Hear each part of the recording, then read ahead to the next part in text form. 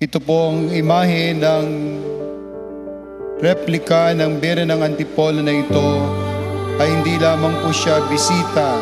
Siya po ay regalo na namin sa Diocese ng Maasin.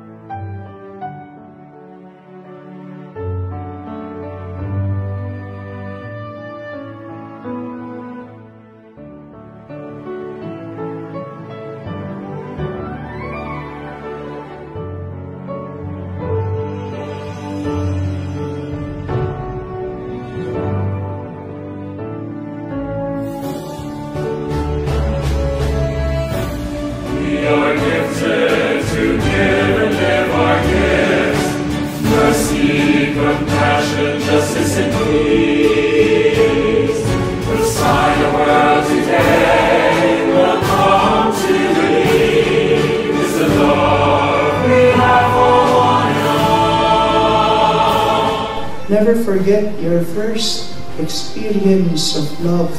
Never forget that first Mass. Never forget the Our Lady's first love.